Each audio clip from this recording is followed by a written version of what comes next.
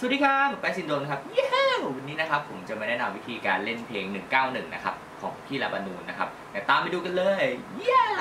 สำหรับเพลงเอ่อ191 นะครับ ของพี่พี่ลาบานูนครับ เพลงนี้อยู่ในคีย์ A minor นะครับ ลายที่ผมจะแนะนำคือเป็นลายท่อนท่อน intro แล้วก็เป็นท่อนร้องนะครับผม คอร์ดเนี่ยจะมีคอร์ด A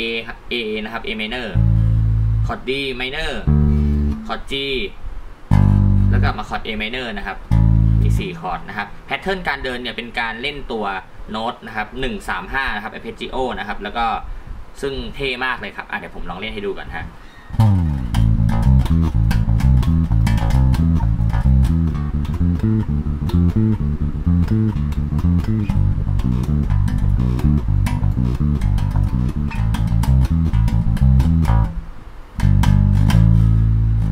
อ่าประมาณนี้นะครับ ตอนแรกนะครับก็ เล่นนิ้วชี้นะครับ ตอนนี้มันมันจะยากนิดนึงสำหรับมือใหม่นะครับ ก็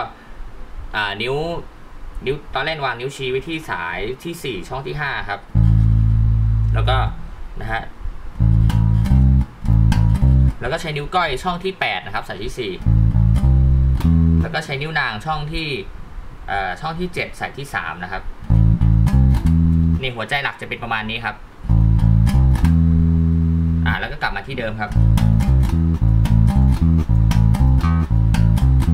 คอร์ดหนึ่งเนี่ยเล่น 4 ครั้งนะครับ เล่นเล่นเป็นวนลูปอย่างนี้ 4 รอบครับ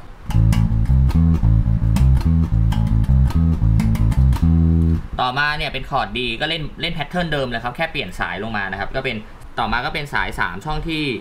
5 สาย 3 ช่องที่ 8 สาย 2 ช่องที่ 7 จะเป็นนี้นะครับ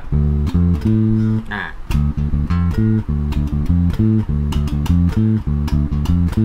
แล้วคอร์ดคอร์ดที่ 3 คอร์ด G เนี่ยอ่าเปลี่ยนนิ้วนะครับ ตอนแรกเราเล่นด้วยนิ้วชี้เป็นตัว root นะครับคราวนี้เราเปลี่ยนเป็นนิ้วนิ้วกลางนะครับ สาย 4 ช่องที่ 3 นะครับ แล้วก็สาย 3 ช่องที่ 2 สาย 3 ช่องที่ 5 นะครับ เป็นอย่างนี้นะครับ แล้วก็กลับมาคอร์ด A minor ครับอ่าเหมือนเดิมเลย ประมาณนี้นะครับอะคราวนี้ผมลองเล่นช้าๆทั้ง ทั้งดุนให้ดูครับ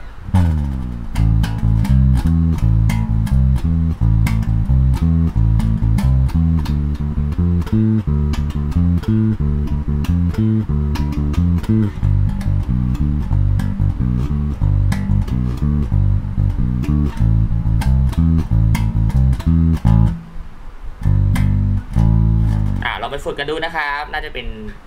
แนวทางได้ได้ดีนะฮะเอาละครับหวังว่าน่าจะเป็นแนวทางสำหรับเพื่อนๆที่สนใจกำลังอยากเล่นเพลงนี้อยู่แล้กันนะครับพบกันในคลิปหน้าครับ สวัสดีครับ เย้